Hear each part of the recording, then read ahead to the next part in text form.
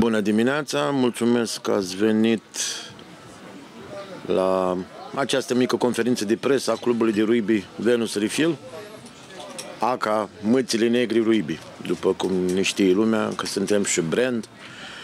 În weekendul trecut am participat cu echipa de fete uh, la, turn, la două turnee, la Timișoara, la Câmpia Turzi, uh, primul la Timișoara, la memorialul Breb Chester Williams.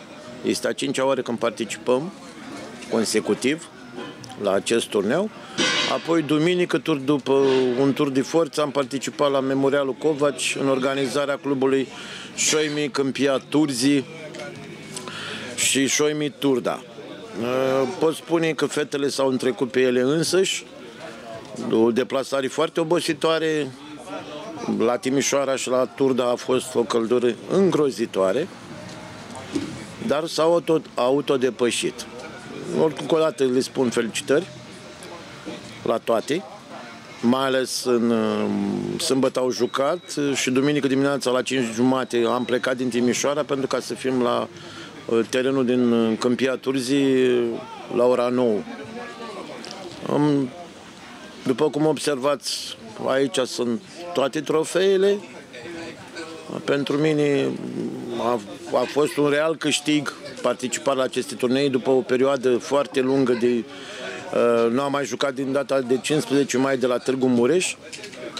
Sper de acum să participăm în funcție și de starea mea de sănătate și de posibilitățile financiare care le avem și la alte turnee, pentru că cel mai bun antrenament este, sunt meciurile.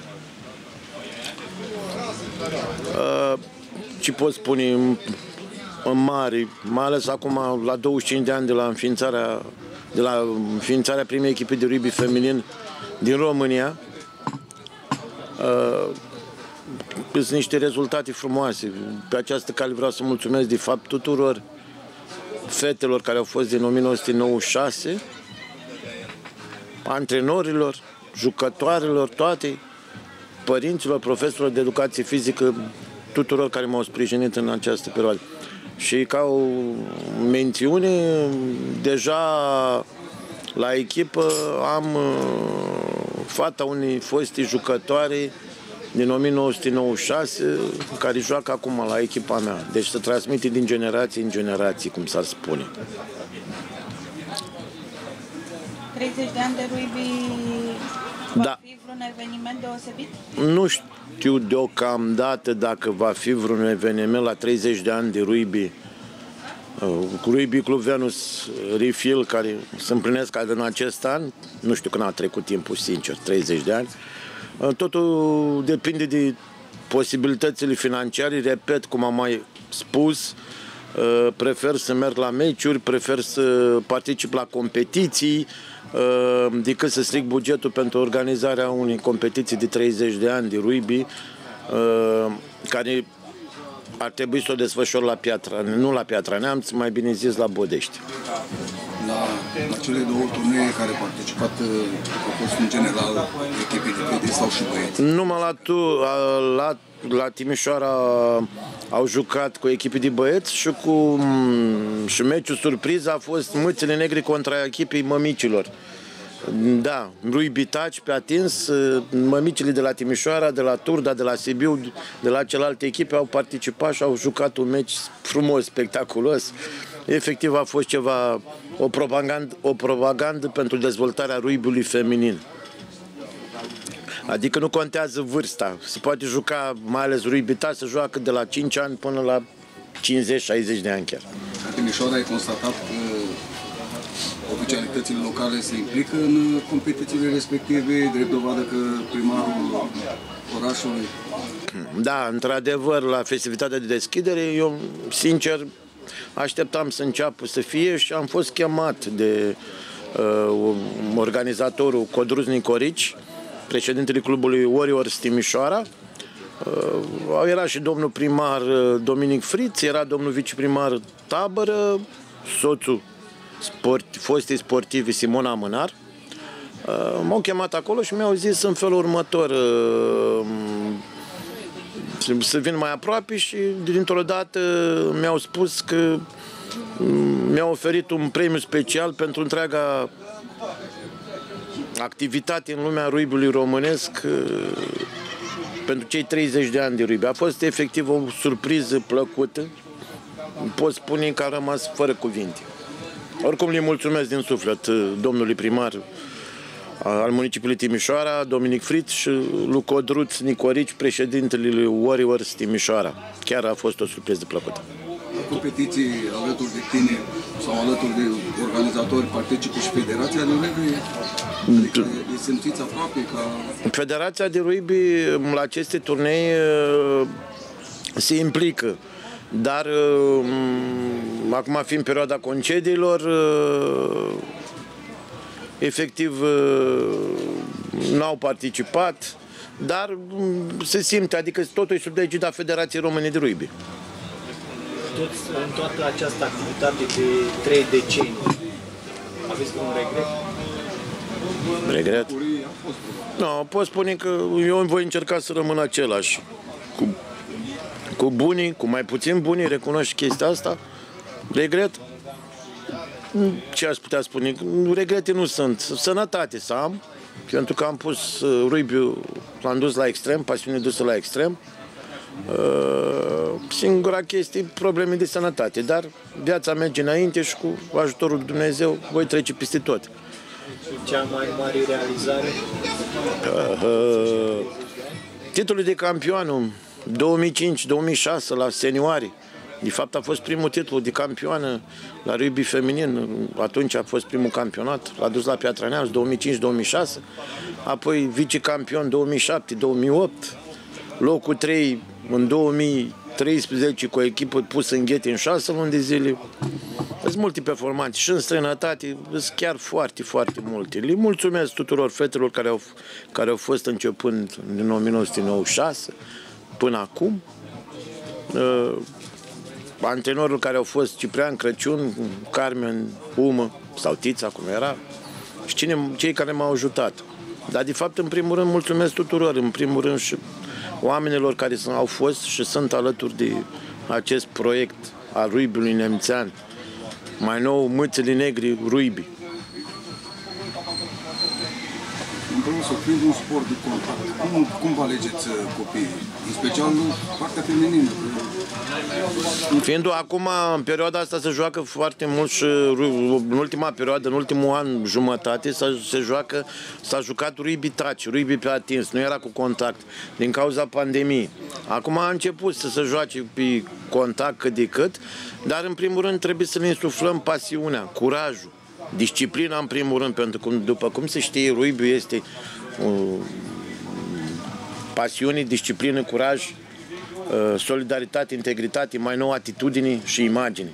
Pentru noi contează foarte mult atitudinea și imaginea fetelor. Uh, selecția este naturală. Uh, eu pun mult accent pe disciplină. Prefer să mă știe lumea de dur. Toate pentru una și una pentru toate. Deviza lor pe aici nu se trece. Eu aș putea spune că sunt o familie, ele se formează, se cresc unele pe altele. Le mulțumesc efectiv fetelor că acum aș vrea să le pomenesc Paula Ciorobât, că capitanul echipii, un sprijin nemaipomenit, Carina Lămătic, vicecapitanul, după aia Izabela Barna, uh, Maria Antonia Fulga, care vine de la Roma la antrenament, uh, Alexandrina Bordos, uh, Amalia Buftea, uh, Iris Adămoaie, asta e de la Roznov, domnișoara, apoi um, Mălina Humă de la Negrești, Acum, efectiv, uh, uh, uh, nu, aici să, uh, mai avem la echipă pe Alexandra Popa, la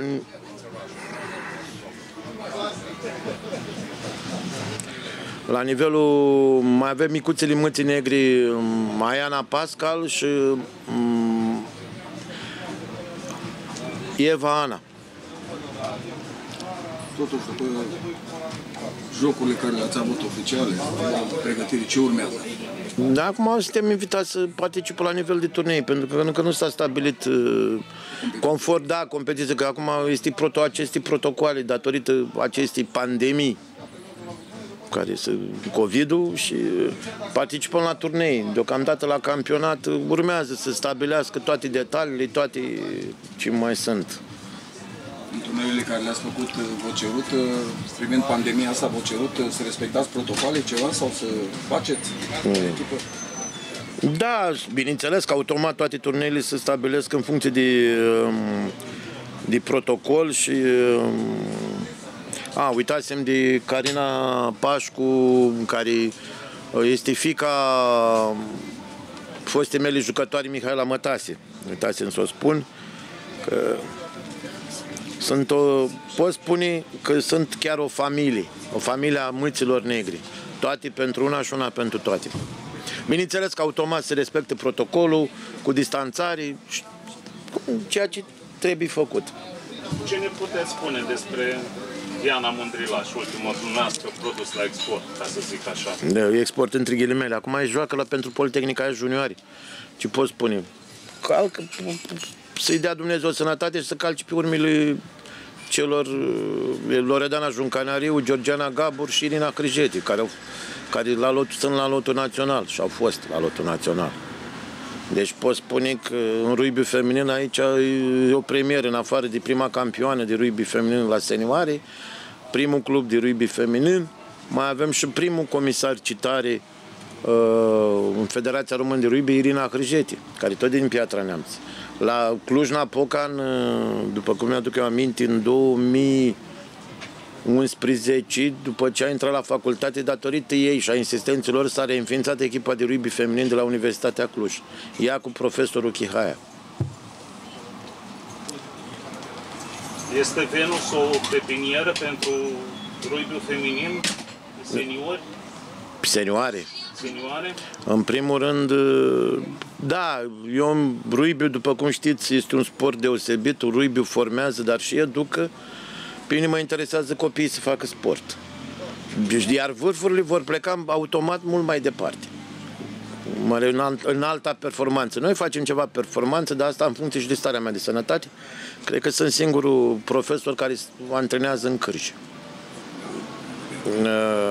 De multe ori mi este foarte greu, stau cu scăunelul, am un scăunel care merge și după mine în deplasări pentru că nu am cum stai, ci stai pe marginea terenului, mi este de multe ori foarte greu de explicat. Multe din exerciții le arăt pe grupul nostru materiale video și apoi încerc cu ele să lucrez la antrenament. Și fetele, mulțumesc Dumnezeu, chiar înțeleg și mă ajută foarte mult să, să prind toate...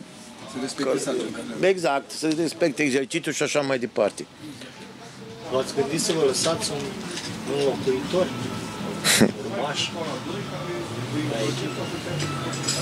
nu. Adică nu în ce sens nu. Că nu știu cine ar veni la Ruibi după ce atâția ani de zile uh, nu văd cine ar putea. Este foarte greu, în primul rând, uh, totul pleacă în afară de antrenez, dar mai este și cealaltă parte, partea administrativă. Trebuie să te lupți, să aduci parteneri, sponsori și așa mai departe. Pentru că știți foarte bine, uh, un club nu stă numai în antrenamente.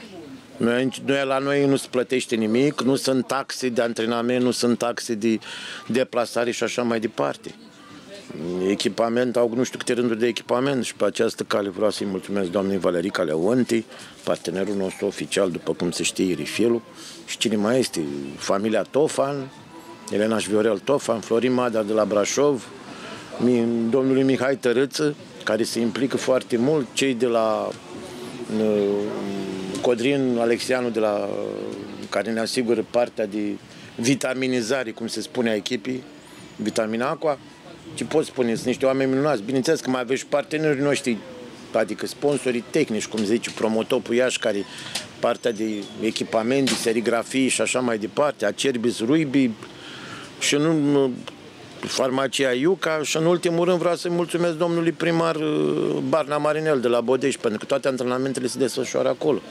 Și mai fac o, o paranteză. La, la noi, noi asigurăm transportul la fetii.